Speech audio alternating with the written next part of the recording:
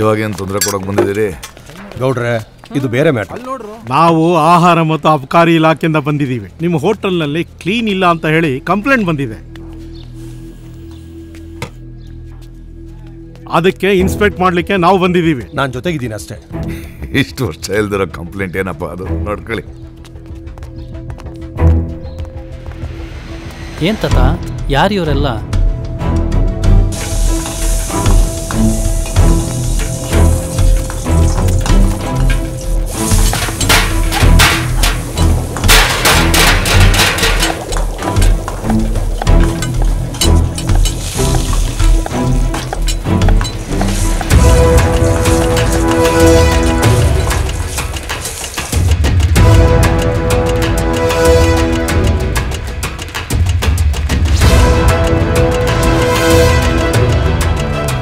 ಹೋಟೆಲ್ನ ಸೀಸ್ ಮಾಡ್ತಾ ಇದ್ದೀವಿ. ಯಾಕೆ? ಗೌಡ್ರೆ ಒಳಗಡೆ ಬೆಕ್ಕು ಸತ್ತು ಬಿದ್ದಿದೆ.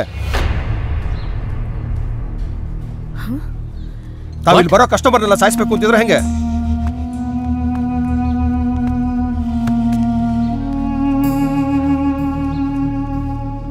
ನಿಮಗೆ ಹದಿನೈದು ದಿನಗಳ ಕಾಲಾವಕಾಶ ಕೊಡ್ತೀನಿ. ಅಷ್ಟರೊಳಗಾಗಿ ನೀವೆಲ್ಲ ಕ್ಲೀನ್ ಮಾಡಿಸಿ ಅಪ್ ಟು ಡೇಟ್ ಮಾಡಿ ಮತ್ತೆ ಹೊಸದಾಗಿ ಲೈಸೆನ್ಸ್ ಅನ್ನ ರಿನ್ಯೂವಲ್ ಮಾಡಬೇಕು ಅಂತ ನಮ್ಮ ಆಫೀಸಿಗೆ ಬಂದ್ರೆ ನಾನು ಲೈಸೆನ್ಸ್ ಅನ್ನ ರಿನ್ಯೂವಲ್ ಮಾಡ್ಕೊಡ್ತೀನಿ. ಸರ್, ನಿಮ್ಮ ಹೋಟೆಲ್ನ ಈಗ ಸೀಸ್ ಮಾಡಬೇಕು. ದಯವಿಟ್ಟು ಹೊರಗಡೆ ಬನ್ನಿ.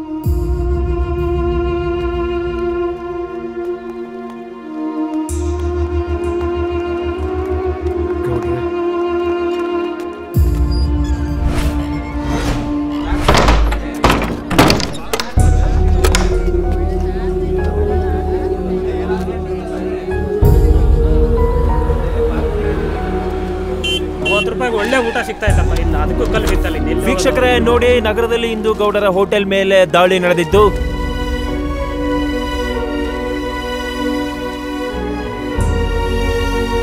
ಅಧಿಕಾರಿಗಳು ಕಿಚನ್ನಲ್ಲಿ ಸತ್ತ ಬೆಕ್ಕೊಂದನ್ನು ವಶಪಡಿಸಿಕೊಂಡಿದ್ದಾರೆ. ಈ ಹಿಂದೆ ಇಲ್ಲಿ ಆಹಾರವನ್ನು ಸೇವಿಸಿ ಅನೇಕರು ಅಸ್ವಸ್ಥಗೊಂಡಿರುವ ಉದಾಹರಣೆಗಳು ಇವೆ.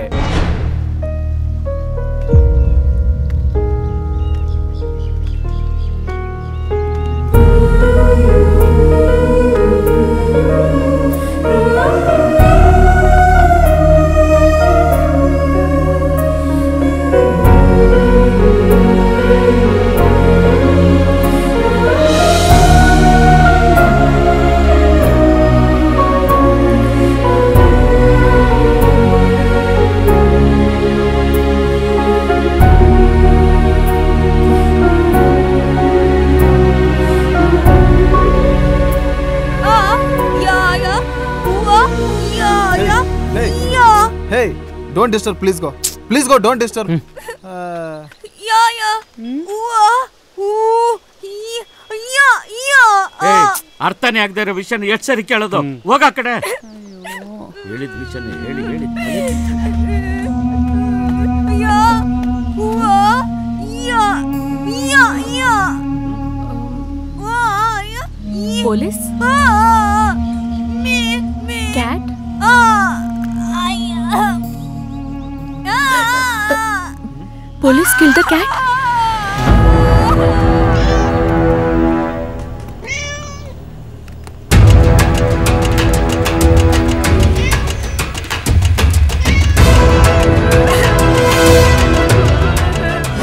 ಇನ್ಸ್ಪೆಕ್ಟರ್.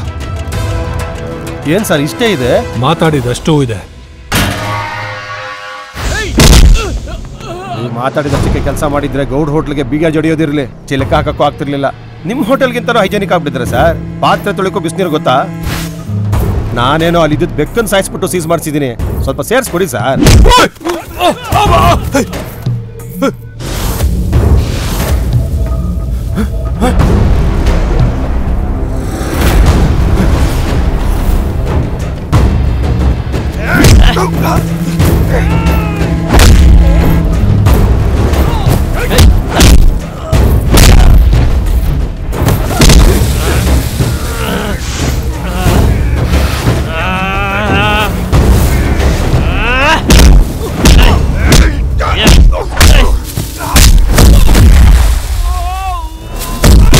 भैया